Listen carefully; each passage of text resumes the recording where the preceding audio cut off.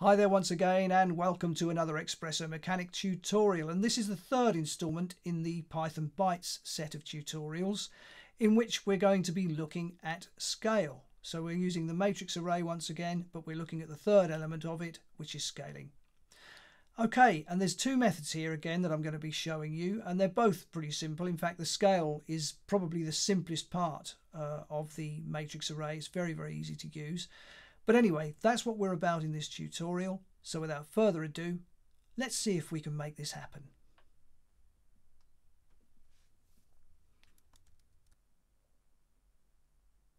Our first port of call is to get a cube.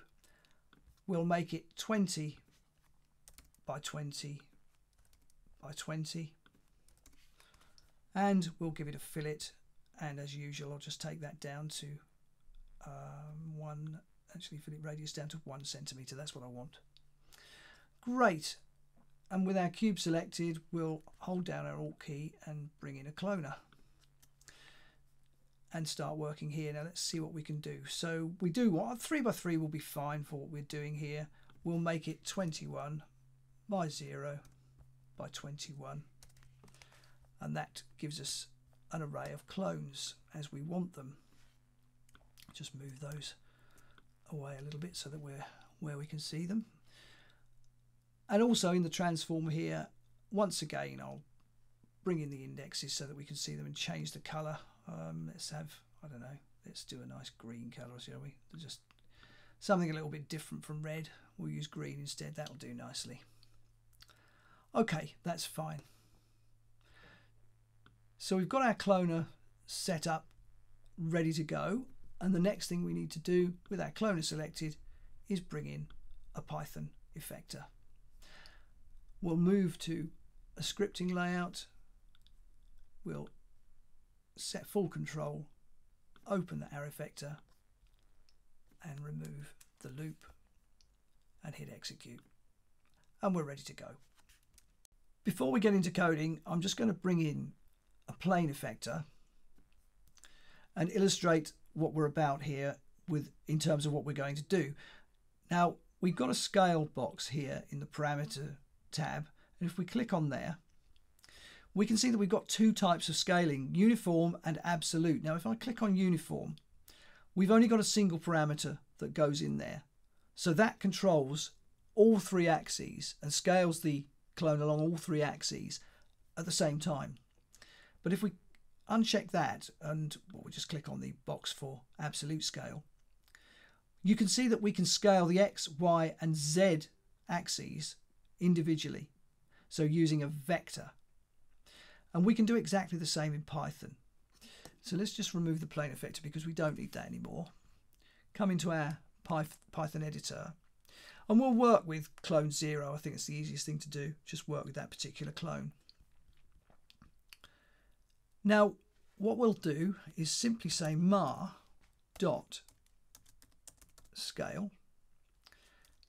And then in here, I just need to put, or rather, actually, I need to say mar bracket zero. Let's get things right. So in my brackets here, I can say, if I just say 1.0, and they are floating values that you, you put in there, if I execute that, well, nothing happens because they're all at 1.0. But if I put 0.5 in there and execute that, now our initial clone is half the size of all the others. Similarly, we can go bigger. So if I say 2.0 in there and execute, now we've got a clone that's twice the size of all the other clones. So that's a uniform scale. That's all you need to do. It's literally that simple to do a uniform scale. But moving on from here, we'll do something that's a little bit more complex and we'll look at absolute scale. And we'll use a vector value to do that. Right, let's continue. So if we say x is equal to, and we'll just say 0.3, y is equal to, let's say 1.6, and z is equal to, let's say, I suppose 0.7. We'll just, just make the thing a bit of an odd shape. And then we can say vect is equal to c4d dot vector x, comma y, comma z. And then our mask scale, we can simply say vect. Execute that. And as you can see, we've now got a rectangular shaped clone that's being scaled in all three or along all three axes at the same time.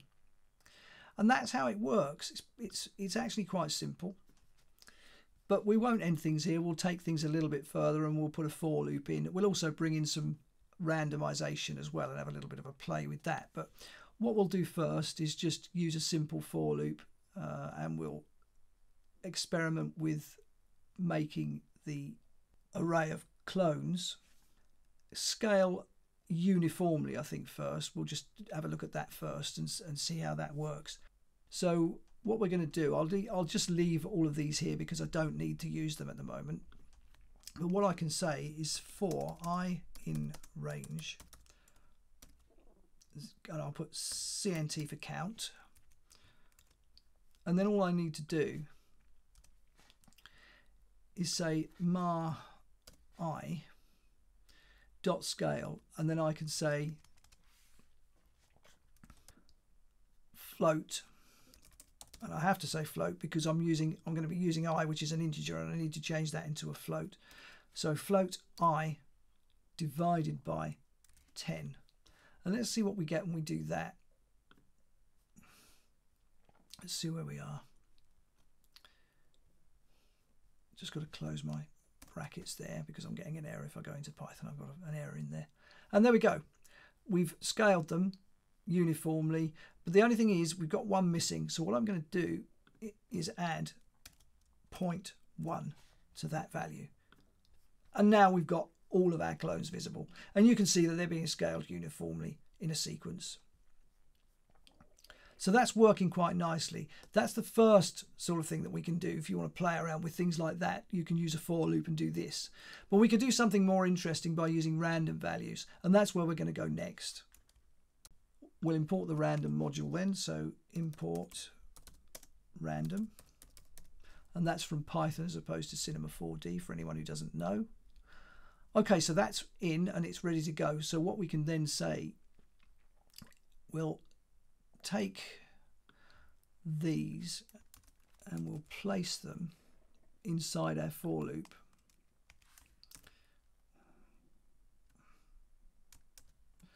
Place those in there. And they're ready to go, but we don't need these values. So we'll just take those away for now so that they're not equal to anything. And what we'll do first is start with a new variable for a, a random number. So we'll say rnd is equal to random dot uniform. Random dot uniform. This will allow us to generate a range of numbers between a set uh, two set values that we define. So we'll say 0.2 comma 1 so we'll go from a value of or a scale of 0.2 to a scale of 1 which is effectively the normalized scale as all clones are set to it initially. And then from here we can say x is equal to rnd. We can then copy this code, place it here, and say y is equal to rnd, and then simply repeat the process once again. So we're generating three random numbers and we're passing them to the x, y and z's of our vector, which we can then copy or rather remove from there. Paste in here. And that's fine. And then all we need to do is say mar i. And what I'll do here I'll just comment this out. So I'll put a hash in front of it. Make it go green. And then we'll put mar brackets i dot scale. And then simply put vect in there. And let's see what happens when we execute this and straight away, all of our clones are now completely random shapes. So that's worked beautifully for us. And of course, if you keep clicking on the return to the start of the animation, it will keep changing. Similarly, it will do the same if you press play. All a little bit fast, mind you. But effectively, we've, you know, that that is, albeit a simple one, that is a Python effector that we've created there that randomly changes the scale of our clones. So it's a very, very simple Python effector. And that's it. You know, that's how you use scale. So you can use it uniformly or you can use an absolute scale by using vector values. Perfectly simple. And as I say, I think this is certainly the simplest element of the matrix array. But, uh, but anyway, that's what I wanted to show you in this tutorial. And that just about wraps this one up. So as I always say, if you've enjoyed this tutorial, then please give it a thumbs up. And if you haven't already, then please subscribe to the channel and leave a comment and of course ring the bell. And wherever you happen to be on social media, please, please share this video because all of this good stuff helps to keep the channel moving in the right direction. But anyway, that brings the curtain down on this one, so I'll see you very soon on the next tutorial.